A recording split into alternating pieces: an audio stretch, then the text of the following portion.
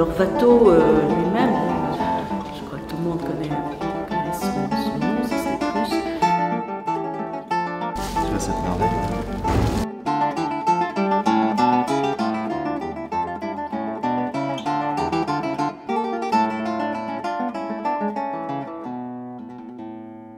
C'est vraiment un, un artiste de, de transition euh, qui est né en, en 1684 et qui est mort jeune à l'âge de 37 ans euh, en 1721. Et si on regarde un peu à quoi ça correspond euh, dans l'histoire de, France, en fait, l'essentiel de sa carrière s'est passé sous le règne de Louis XIV. Quand tu regardes les, peintures de Fragonard qui sont vraiment à l'extrême fin du règne de Louis XV, c'est le début hein, vraiment du grand, grand rococo, enfin vraiment là, dans les années 60 jusqu'à 70 et 80. En fait, c'est une reprise de Watteau qui était le peintre de la fin du règne de Louis XIV et de la Régence. Cet artiste est un artiste de transition, mais c'est vraiment lui qui a inventé un nouveau style et qui ouvre vraiment le XVIIIe siècle.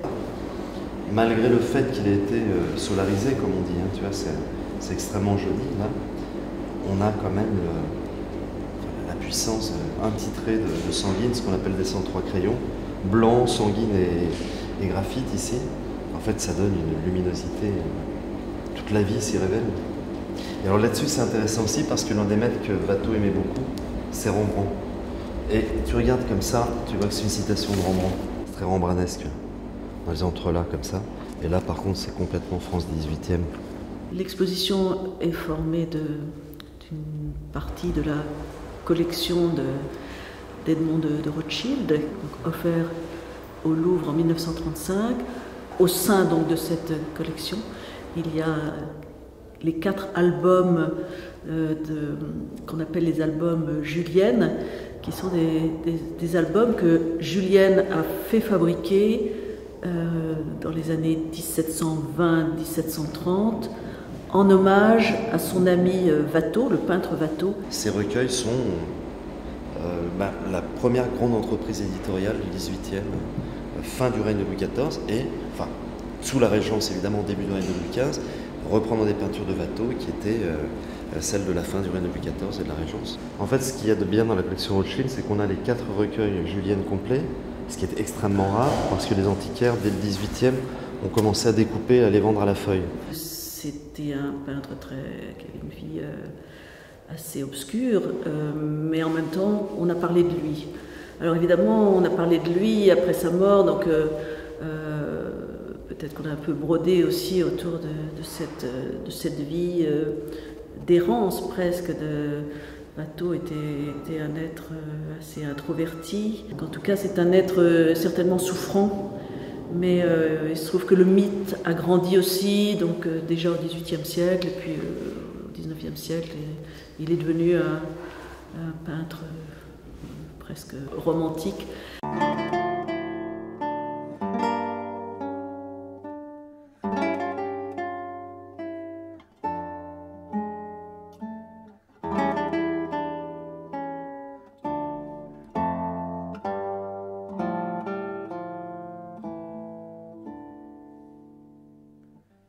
Il a une courte vie, mais excessivement euh, productive en fait, quand on voit euh, le nombre d'œuvres euh, qu'il a produites. Alors des dessins, beaucoup de dessins, il devait dessiner tout le temps, tout le temps, tout le temps, d'après, nature en fait. Watteau a légué énormément de dessins à, à, Gersain et ensuite à Julienne, sont gravés, et ils ont été gravés par les plus grands graveurs français du XVIIIe, dont Boucher.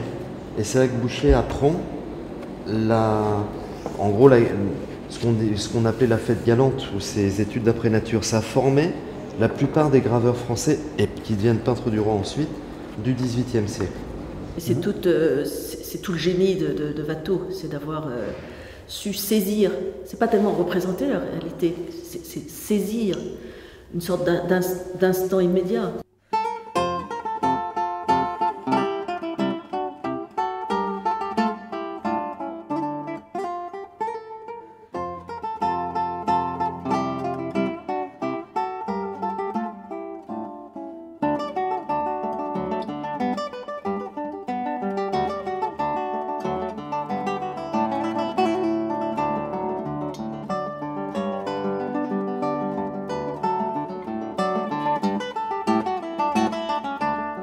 Nous sommes devant, devant une gravure de très grand format qui représente euh, donc l'embarquement pour Citer de, de Watteau.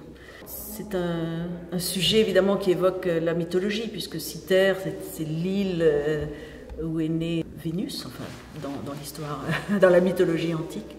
Donc une île qui est au, sud, euh, au sud de la Grèce, qui, est, qui, a au XVIIIe siècle un retentissement extraordinaire parce que À Citer, dans le langage courant, c'était vraiment euh, euh, l'amour, l'amour physique. Hein, Qu'est-ce qu'il a représenté? En fait, une, une, figure, la seule figure nue est une figure d'une statue antique. Donc Vénus est présente.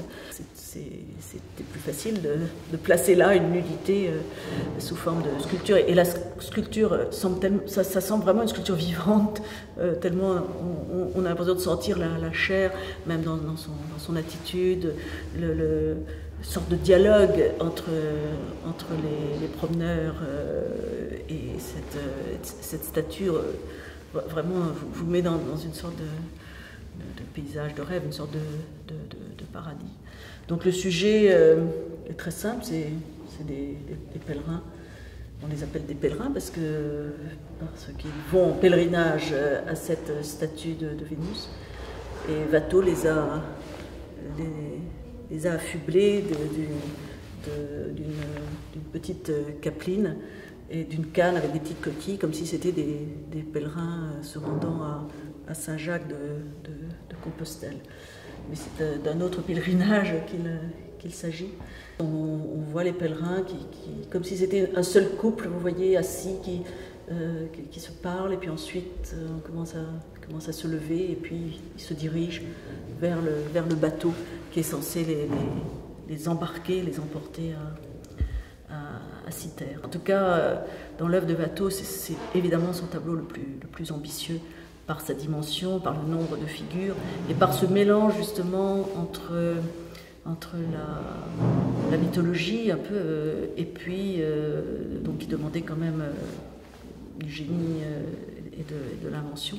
Et puis, et puis on a l'impression qu'il a placé là presque tout son catalogue de, figures, figures qu'on retrouve dans des plus petits tableaux, ou même dans ses, dans ses dessins, des, des femmes qui, qui, baissent les yeux, qui ont l'air timides, mais qui se laissent quand même euh, euh, facilement séduire, euh, l'insistance des hommes. Enfin bon, c'est vraiment un tableau, un tableau formidable. C'est le testament pictural de Watteau, quand il est malade, chats, mourant, et il peint ça pour se délier les doigts, comme il le dit, pour une enseigne, l'enseigne de la boutique de Jarsinthe, qui était son, un ami et marchand de tableaux, qui avait sa boutique sur le Pont Neuf.